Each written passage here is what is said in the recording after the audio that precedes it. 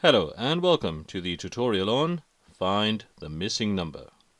In this tutorial we will learn how to find the missing number with numbers up to 1000 and we're going to be looking at addition questions. So let's have a look at our first example. We have something plus 627 equals 943. Okay, we've used quite a few different methods. For this one, we're going to use simply the add-on method. Okay, we're starting at number 627. We're going to be adding numbers to this until we get to 943. Okay, we're going to start with the units. We've got seven units. How many units do we need to get to? We need to get to three units. Now, if we're adding a number to 7, which is the next number which has got 3 units? And that's 13. So 7 plus what number is going to give us 13? 7 plus something equals 13. The answer is 6. 7 plus 6 equals 13.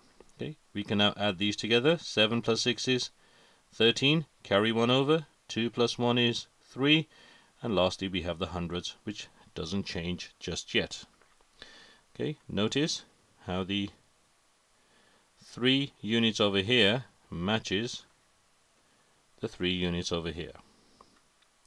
On to the tens. We've got three tens. We need to get to four tens. So what number do we need to add to 3 to give us 4? Well, that's simple. We need 1. Okay, the tens, the units doesn't change. Now we can add these together. We have 643.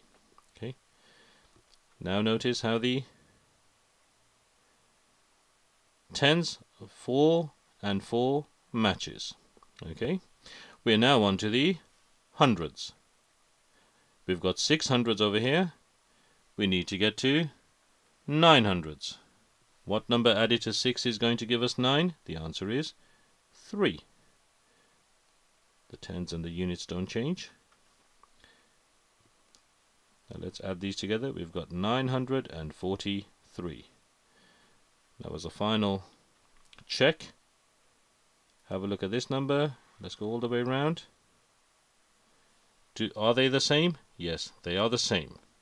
So we've done it. Now all we need to do is we need to simply collate the 6, 10, and the 300. Okay, we've got, let me just write it over here so it's a bit clearer. We've got 6, the 10, and 300. Okay, we're not even adding, we're just simply collating the digits. The answer is 316. So 316 plus 627 equals 943. Okay, now I've shown all the workings, as I've mentioned before, I've shown all the workings. Over a period of time, I want you to go through the workings, but then do these in your head. Now, how would you do these in your head? Well, let's have a look at our second example. We have 738 plus something equals 981. So 738 plus something equals 981. Now using the same method, how many units have we got? Well, we've got 8 units. We need to get to 1. What number added to 8 is going to give us not 1 but 11? The answer is 3. 8 plus 3 is 11. Now because 8 plus 3 is 11 and we've got an, a 10 there, I'm going to cross the 3 out. The 3 has now become 4. How many tens have we got? We've got four tens. How many do we need to get to? We need to get to 8. 4 plus 4 equals 8. On to the hundreds. We've got 7. We need to get to 9. The answer is 2. And there we go. No workings out. 738 plus 243 equals 981. I want you to develop speed on this. Accuracy and speed. Okay, let's scroll back up again. Just to summarize, that is how we find the missing number for numbers up to 1000 when we are looking at addition questions.